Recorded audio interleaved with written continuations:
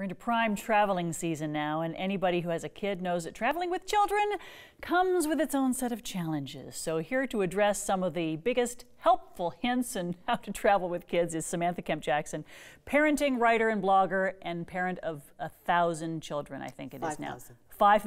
Yes. And twins. Identical, yes. They are how old now? They're eight now. They're Okay. eight years old now. Are they easier to travel with now that they're eight? Uh, they are a bit easier. There's still some challenges there, but uh, definitely easier than traveling with baby twins, which I've done as well.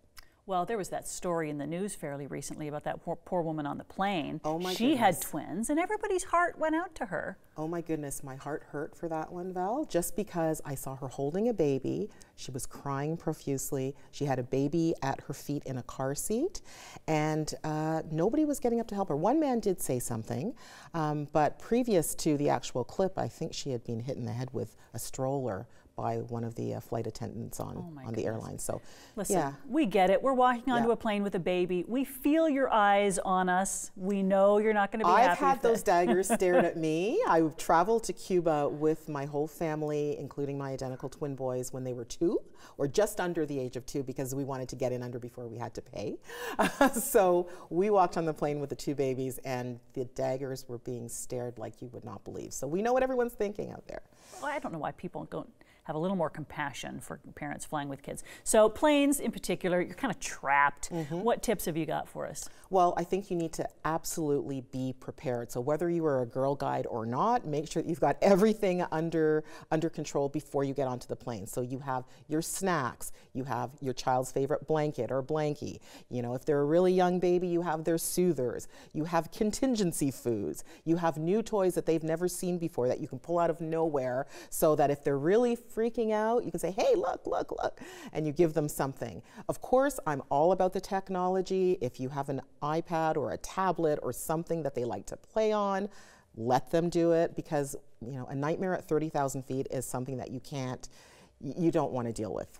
The nice thing is the movement of the plane will often lull them to sleep. So maybe skip the nap earlier, let them have the nap on the plane. Skip the nap, but it's a fine balance, Val. Just because you know, uh, you know, you've got a, a child, and when they don't have their nap, they kind of pass over into that phase where perhaps they are so cranky, they're crying, they're screaming. And don't forget, there's also the pressure in the plane. So oftentimes, very young children, you can't get them to chew gum or, or you know, whatever. So they're going up, and their ears are popping, they're screaming even more.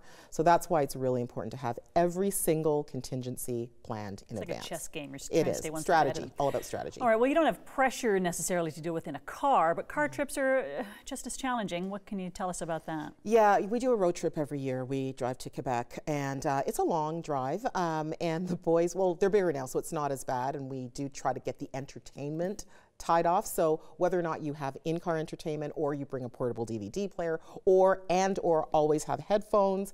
Um, again, I go to the dollar store just before we get into the car or the plane or whatever mode of transportation. I buy a few little very inexpensive gifts for them, toys, coloring books, whatever, and then I just pull them out randomly when they're starting. I can feel them starting to get a bit antsy. I start saying, "Hey, look, I've got a new toy for you," and then that quietens them down and, and buys me a little bit more time. Sneaky, but it works. Hey, and whatever gets you through, right? Whatever gets you through the night or You've day. got so many wonderful tips, and they're all listed in your blog and on your website. Where should we go if we want to to dive into your parenting expertise? You can find me at multiplemayhemmama.com, all one word. The mama is with two M's. You can also find some of my writing on Huffington Post mm-hmm. under my name. Great, Samantha. great articles. Thank you. Very helpful tips. Thanks so much, Val. Thank you so much.